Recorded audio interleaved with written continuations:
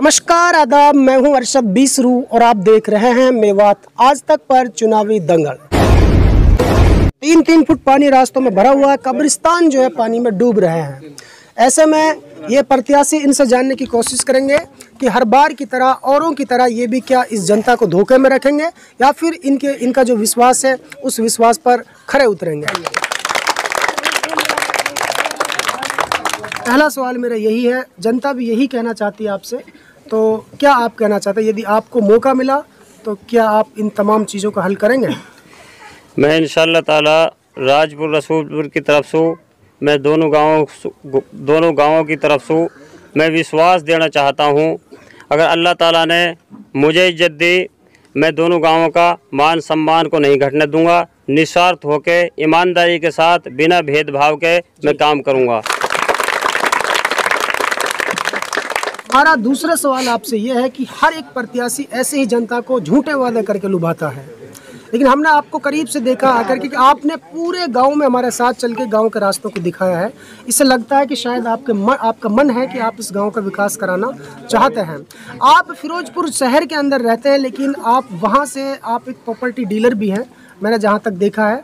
तो आप सरपंच पद का चुनाव क्यों लड़ना चाहते हैं? क्यों फिरोजपुर झिरका छोड़कर अपने गाँव वापस आए हैं? अरसद भाई मैं गाँव इसलिए आया हूँ अब से पहले जो भी नुमाइंदे बने हैं गाँव का शोषण किया है गाँव में विकास नाम की कोई चीज़ नहीं है। हमारे गाँव की सारी जो नाली हैं वो सारी ब्लॉक हैं। कब्रिस्तानों की चार दीवारी नहीं है। जी। बिजली पानी की समस्या है।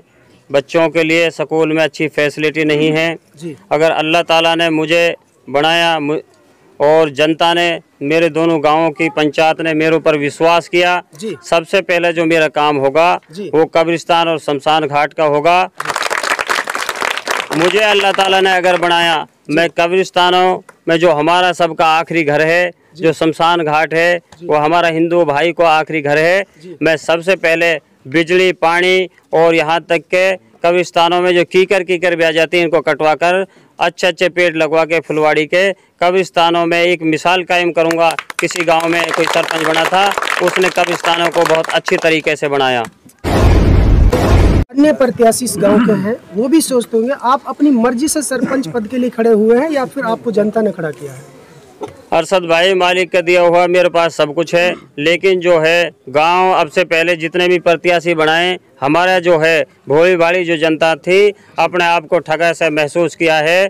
और इसलिए गाँव की जो जनता ने मन बनाया तो मुझे गाँव की जनता ने जो हौसला और जो हिम्मत दी है जो परिवार ने और मेरा जितना भी गाँव है मुझे बड़ा अच्छा प्यार करता है। इसलिए मेरी अब से पहले किसी से कोई भेदभाव नहीं था ना मैं निस्वार्थ होकर सारा गाँव में मिलन जुलन मेरा रहता है और गाँव मेरे लिए बड़ा मान सम्मान बड़ा प्यार करता है। और हमारा सारा गाँव का मन बन चुका है। इस्माइल भाई को अगर अगर एक ईमानदार आदमी को गाँव का नुमाइंदा बनाया जाए। गाँव में जो है सही मायने में गाँव का विकास भी किया जाएगा और गाँव की जो पार्टीबाजी है उसको भी ख़त्म किया जाएगा। और जो हमारे गाँव में जो जितने भी जो जायज़ काम है इन ताला अगर अल्लाह ताला ने मुझे बनाया जो जिसका हक है उसका हक उसके लिए मिलेगा। चाहे कोटा का हक हो चाहे आंगनबाड़ी का हक हो चाहे जो कॉलोनियों का हक हो चाहे बीपीएल का हक हो जो गरीब आदमी है जो जिसका जो हक मारा गया है अब से पहले इन ताला अगर अल्लाह ताला ने मुझे बनाया मैं मेरे पास जिनका भी जो हक है जो जो लायक हैं निस्वार्थ होकर ईमानदारी के साथ सबके लिए सबका हक दिया जाएगा। अच्छा एक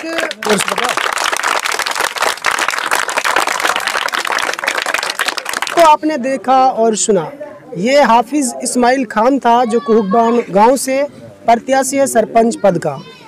दोस्तों गाँव की जनता का काफ़ी रिस्पांस इन्हें मिल रहा है। अच्छी इनकी लहर है इस गाँव में। ऐसे में कुछ और ग्रामीण है बुज़ुर्ग है इनसे भी एक दो बात कर लेते हैं। ये क्या कहते हैं इनके बारे में? इस्माइल भाई के लिए क्या कहना चाहते हैं? क्या इस बार जीत पाएँगे? जी यही कहना चाह बढ़िया लड़का है। हमारा ही बच्चा है। जी। और समूचे गाँव ने इसके लिए बहुत बहुत प्यार दिया है। जी। इसीलिए और भाई सभी भाई ने बहुत खुशी से हुई खड़ा किया खड़ा किया है। जी दादाजी। हाँ जी बढ़िया लड़का ईमानदार लड़का बढ़िया काम करेगा ईमानदार साथ करेगा। ओके। आप बताइए अंकल जी। इस्माइल का पूरा पूरा विश्वास है जी गाँव में विकास कराएगा।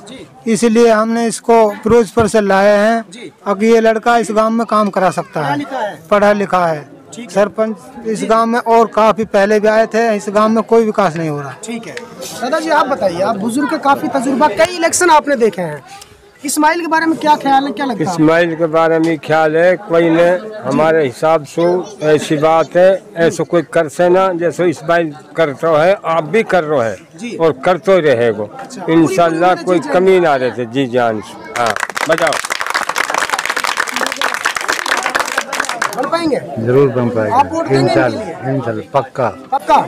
तो दादाजी के लिए ताली चाहिए।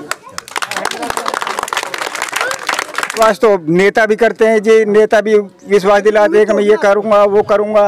अब ये तो इनके ऊपर उम्मीद है जी। उम्मीद है? हाँ उम्मीद है जी। चलिए भाई हेमू भाई के लिए भी एक बात.